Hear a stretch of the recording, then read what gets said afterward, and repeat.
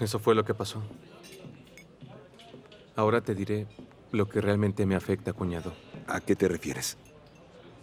Sé que ya te dijeron de qué se trata y por eso quieres que hablemos, ¿cierto? Sí, ya te imaginarás cómo está la familia. Quieren saber cómo tomaste lo del trabajo, ya que mi suegra estuvo a punto de coserme la boca porque quería callarme. ¿Por qué haría eso? ¿Qué dijiste? Está tan alterada que no deja hablar a nadie. Ella es la única que podía opinar de esto. Y quería coserme la boca para que por fin me callara. Escúchame. Mi problema no es que Lale logre conseguir un trabajo en una escuela, ni que sea maestra. Eso es algo que yo le respeto mucho. Te comprendo, cuñado. La única cosa que me molesta en esto es que Lale va a dejarme y se irá a otra parte con mi hijo y eso me vuelve loco, cuñado. ¿Pero de qué cosas estás hablando? No entiendo nada. Lale no te dejaría, no se iría a ninguna parte sin ti, tranquilo. Ese es el verdadero problema. Hemos discutido sobre esto y ella está muy segura y decidida a hacerlo. Ella me aseguró que se irá y que nada lo podrá evitar. Así que preferí salirme de ahí, ya que si me quedaba más tiempo nos habríamos dicho cosas muy hirientes. Salí azotando la puerta, fui al auto, salí sin decir nada. No sé si se molestó por salirme de esa forma. Espero no haberme equivocado por haberla dejado así. Mira, yo creo que hiciste lo correcto, ya que... Mesero, Ordena otro más, por favor, Curtulus. ¿me puede traer otra orden igual, por favor? Eh, Escúchame. Sé que te vas a molestar conmigo porque crees que apoyo a Lale siempre, pero sé que mi suegra sufrió mucho para darle una buena educación a Lale y que se convierta en una maestra. Por eso se preocupa por ella. Lale salió adelante y terminó todos sus estudios académicos. Se lo agradezco. Desde que entraste a su vida, todo es diferente. Lale tomará su decisión de ir porque es autosuficiente. Ella no hará nada en contra de lo que le gusta hacer. Te voy a hacer un planteamiento.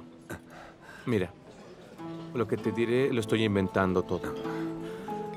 Nilufer decidió que ella se irá a otro lado. No es importante el lugar, a donde sea. Le ofrecieron un puesto muy bueno en ese lugar y Nilufer decidió aceptar irse. ¿Lo permitirías? Moriría si Nunu se separa de mí, ya que a donde ella vaya, yo voy tras ella. Aunque se fuera a Timbuktu, iría al fin del mundo por ella. Pero yo soy así, una persona ordinaria y simple. Yo la seguiría, pero sé que eres diferente a mí, cuñado. Eh, No es tan fácil. Tu negocio está aquí y sé que no puedes abandonarlo para seguirla. Mira, no puedes irte a ninguna parte. No soy buen ejemplo. Trato de comprenderlo ya que ella siempre me ha respetado. Apoya mi trabajo, está ahí cuando la necesito y me respeta.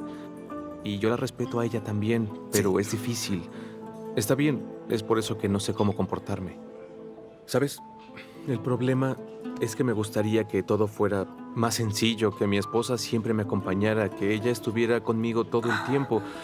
Pero cuando trato de resolver alguna dificultad, ya tenemos otra más grande encima a la que hay que darle alguna solución también. Y al día siguiente surge algo nuevo. Es el cuento de nunca acabar, cuñado. Siendo sincero, ya me tiene desesperado. Estoy cansado de que no podamos estar en paz.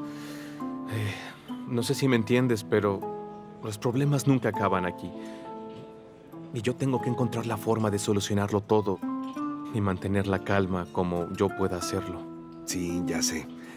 Te comprendo más de lo que te imaginas.